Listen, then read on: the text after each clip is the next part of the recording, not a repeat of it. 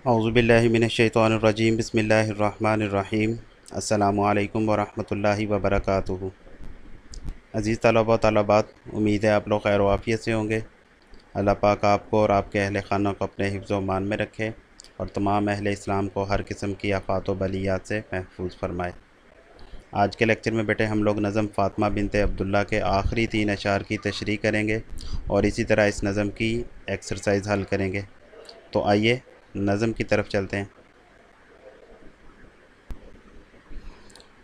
जी बेटे, अशार की तशरी से कबल हम लोग बेटे हमेशा की तरह पहले नज़म की रीडिंग करेंगे, उसके बाद मतलूबा अशार की तरफ़ चलेंगे।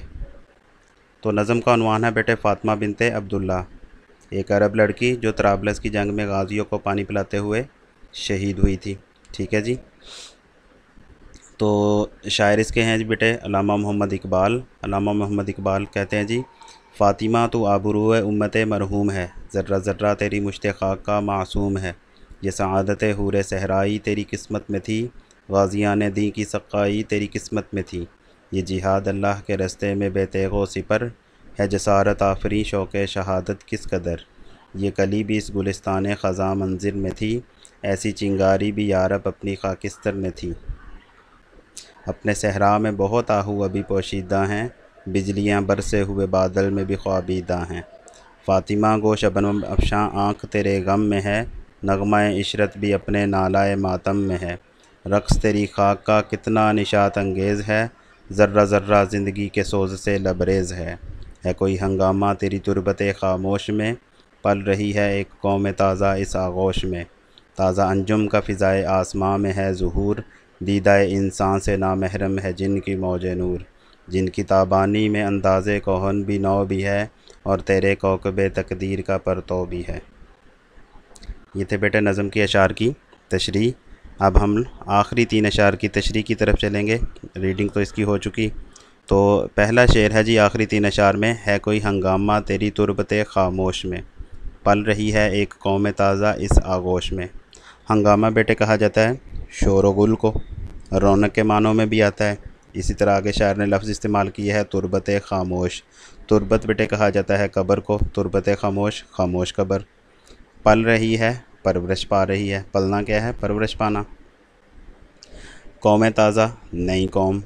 ठीक है जी, आगोश बेटे कहते हैं, गोद को। आगोश किसे कहते हैं? गोद को। तो इस शेर का बेटे मफहम क्या बनेगा? तो इस शेर का मफहम बनेगा कि मालूम होता है कि फ़ातिमा मालूम ये होता है कि तेरी कब्र जो है वो खामोशी में मालूम ये होता है कि तेरी कब्र खामोश कब्र है। तेरी खामोश कब्र जो है वो इसमें हंगामा बरपा है। क्या मालूम होता है कि ए फ़ातिमा तेरी जो कब्र है तेरी जो खामोश कब्र है इसमें एक हंगामा बरपा है। ठीक है जी? तुम्हारी तुम्हारी कब्र एक ऐसी गोद है जिसमें एक नई कौम जो है वो परवरिश पा रही है। ये तो था बेटा इस, इस शेर का मफहम। तो इसके, इस शेर की तशरी आप लोग किस अंदाज़ में करेंगे, वही हम अंदाज़ आप लोग अपनाएँगे कि पहले शायर के मतलब बयान करेंगे, शायर का नाम ज़िक्र करेंगे, कैसे ज़िक्र करेंगे कि शायर मशरक अलामा मोहम्मद इकबाल उम्मत मुसलमा की अजीम बेटी को खराज तहसीन पेश कर रहे हैं। खराज तहसीन पेश करते हुए कहते हैं कि फ़ातमा बिनते अब्दुल्ला, तेरी कब्र की खामोश, तेरी कब्र जो है वो खामोशी का मरकज़ बन चुकी है। लेकिन इसके बावजूद कहते हैं, जी, मुझे पुख्ता यकीन है, मुझे पक्का यकीन है कि तेरी, के तेरी कब्र के अंदर खूब रौनक लगी हुई है, खूब चहल पहल है, खूब हंगामा बरपा है, ठीक है? तो ये उसकी वजह क्या है? उसकी वजह ये है कि यकीन तू शहीद इस्लाम है। तो इस इस्लाम के नाम पर अपने जान कुर्बान की है, ठीक है? गाजियों को पानी पिलाते हुए तू शहीद हुई है, ज़ख्मियों को पानी पिलाते हुए शहीद हुई है, ठीक है जी? और हर शहीद जो है वो अल्लाह ताला का क्या होता है? मेहमान होता है और अल्लाह ताला अपने इस मेहमान के लिए कब्र में तमाम तर अहतमाम कर देता है। ठीक है जी? हर किस्म की सहूलियात रौनकें अता करता है। फ़रिश्ते कहते हैं जी, इसके लिए कब्र में पर बिछाते हैं।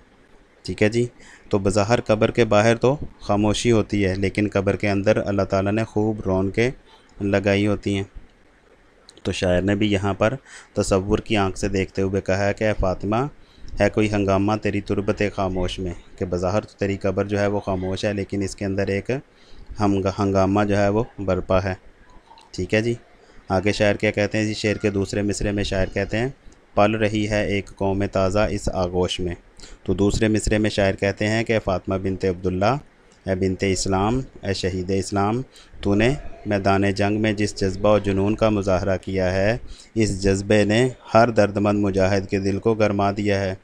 ठीक है जी, कि हर किसी को नया जोश और वलवला अता किया है, हर नौजवान को एक वलवला अता किया है, आज़ादी की एक नई राह दिखा दी है, कि फ़ातिमा बिनते अब्दुल्ला, बेशक तू उम्र में कम से नहीं थी, उम्र में कम ही थी, लेकिन ये ज़रूर है कि तूने अपनी हिम्मत और बेमिसाल बहादरी की बदौलत लोगों को एक ताज़ा नया जज्बा जो था वलवला जो था, जोश जो था, वो अता कर दिया।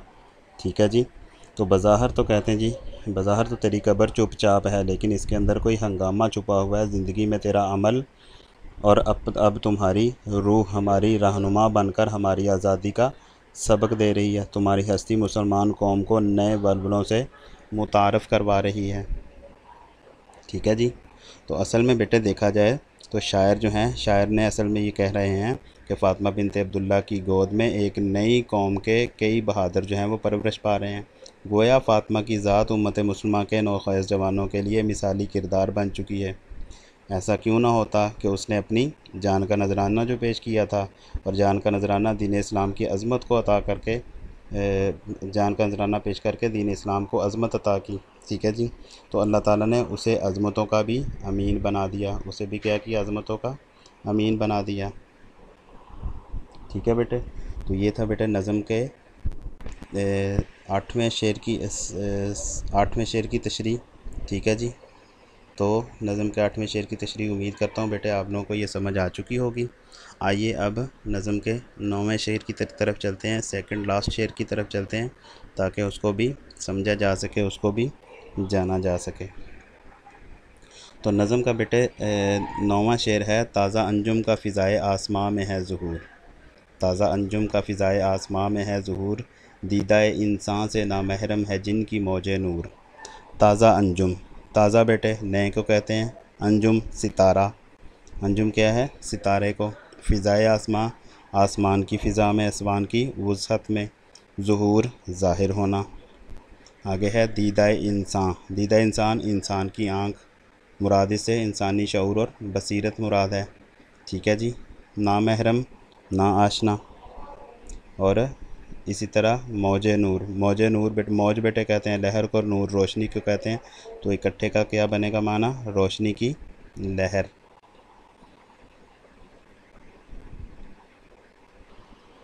ये थे बेटे इस शेर के मुश्किल फाज के मानी। अब इसका मफहम सुनिए बेटे।